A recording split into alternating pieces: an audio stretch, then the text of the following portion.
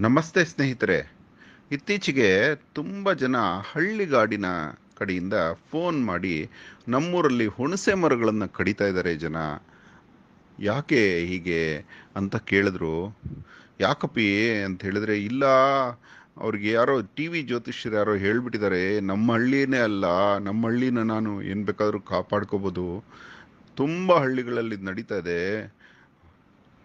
ಹುಣಸೆ ಮರ ಮನೆ ಹಿಂದೆ ಇದ್ದರೆ ಏಳಿಗೆ ಆಗಲ್ಲ ಅಂತ ಹೇಳ್ಬಿಟ್ಟಿದಾರಂತೆ.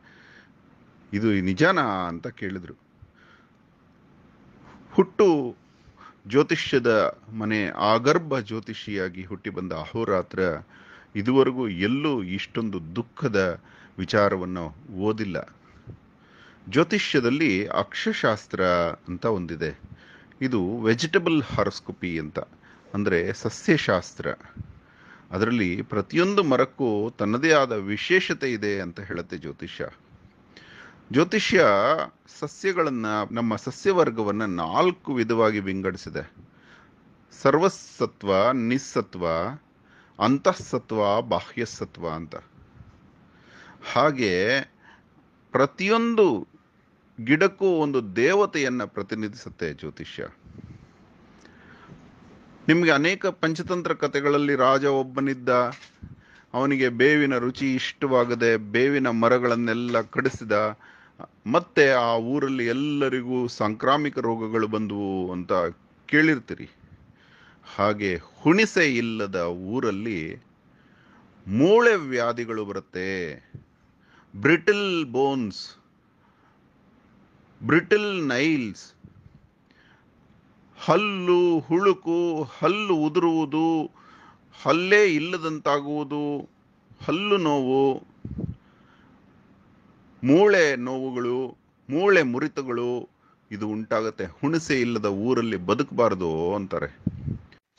ಮುಖ್ಯವಾಗಿ ಹುಣಸೆ ಇಲ್ಲದ ಊರಲ್ಲಿ, ಹುಣಸೆ ಮರಗಳು ಇಲ್ಲದ ಊರಲ್ಲಿ ಪುರುಷತ್ವದ ಕೊರತೆಯಾಗಿ ವಂಶವಾಹಿ ಬೆಳೆಯುವುದು ಕಷ್ಟವಾಗುತ್ತೆ. ಇದನ್ನು ಗಮನಿಸಿ. ಹುಣಸೆ ತುಂಬ ಶ್ರೇಷ್ಠವಾದಂತಹ ಸಸ್ಯ ಪ್ರಜಾತಿ. ದಯವಿಟ್ಟು ನಿಮ್ಮಲ್ಲೆಲ್ಲರಿಗೂ ಅಹೋರಾತ್ರ ಮಾಡುವ ಮನವಿ. ಹುಣಸೆ ಮರವನ್ನು ಕಡಿಯಬೇಡಿ. ನಿಮಗೆ ಗೊತ್ತಿರ್ಬೋದು, ದೇವನಹಳ್ಳಿಯಿಂದ ಚಿಂತಾಮಣಿಗೆ ಹೋಗುವ ರಸ್ತೆಯಲ್ಲಿ ಸುಮಾರು ಎಂಟು ನೂರು ವರ್ಷಗಳ ಹಿಂದಿನ ಹುಣಸೆ ಮರಗಳು ತೋಟನೇ ಇದೆ. ರಾಜರ ಕಾಲದಲ್ಲಿ ವಿಶೇಷವಾದ ಹುಣಸೆ ಬೀಜಗಳನ್ನು ತಂದು ನೆಡ್ತಾ ಇದ್ರು. ಇನ್ನೂ ಒಂದು ವಿಶೇಷ ವಿಚಾರ ನಿಮಗೆ. ಹನ್ನೆರಡು ವರ್ಷ ಬರಗಾಲ ಬಂದರೂ ಹುಣಸೆ ಮರ ಮಾತ್ರ ಸಾಯಿಲ್ಲ ಅಂತಾರೆ. ದಯವಿಟ್ಟು ಹುಣಸೆ ಮರಗಳ ಮಾರಣ ಹೋಮ ಆಗುವುದು ಬೇಡ. ಹುಣಸೆ ಇದ್ದ ಊರಿಗೆ ಒಳ್ಳೇದಾಗತ್ತೆ.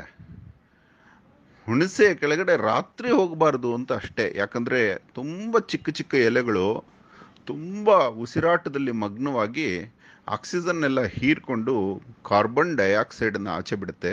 ಹಾಗಾಗಿ ನಮಗೆ ಸಫೊಕೇಶನ್ ಆಗುತ್ತಷ್ಟೆ. ಯಾವ ಭೂತ ಪ್ರೇತಗಳು ಇಲ್ಲ. ಅದೇ ಹಗಲಿನ ಹೊತ್ತಲ್ಲಿ ಹುಣಸೆ ಕೆಳಗೆ ಹೋದರೆ ನಿಮಗೆ ತುಂಬ ಆಕ್ಸಿಜನ್ ಸಿಗುತ್ತೆ. ಯಾಕಂದರೆ ಅದು ದ್ಯುತಿ ಸಂಶ್ಲೇಷಣ ಕ್ರಿಯೆ ಅತಿ ಹೆಚ್ಚು ಮಾಡುತ್ತೆ.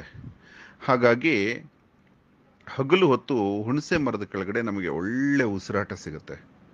ದಯವಿಟ್ಟು ನಿಮ್ಮಲ್ಲೆಲ್ಲ ಮನವಿ ಈ ವಿಷಯವನ್ನ ಅತಿ ಹೆಚ್ಚು ಜನರಿಗೆ ತಲುಪಿಸುವುದರಿಂದ ನಮ್ಮ ಕರ್ನಾಟಕದ ಹುಣಸೆಯ ಸಂತಾನವನ್ನು ಉಳಿಸ್ಬೋದು. ಅದ್ಯಾರೋ ಜ್ಯೋತಿಷ್ಯರು ದಯವಿಟ್ಟು ಇಂತಹ ಕೆಟ್ಟ ಕೆಟ್ಟ ಸಮಾಚಾರಗಳನ್ನು ಹಬ್ಬಿಸಬೇಡಿ ಅಂತ ಕೇಳ್ತಾ ಈ ಪುಟ್ಟ ಮಾತುಗಳನ್ನು ಅಹೋರಾತ್ರ ಮುಗಿಸ್ತಾ ಇದ್ದಾನೆ. ಹುಣಸೆಗೆ ಜಯವಾಗಲಿ. ಇನ್ನು ಹುಣಸೆಯ ವಿಚಾರ ಮುಂದೆ ನಿಮಗೆ ಅನೇಕ ತಿಳಿಸ್ಕೊಡ್ತಾನೆ. ಧನ್ಯವಾದ ಅಹೋರಾತ್ರ.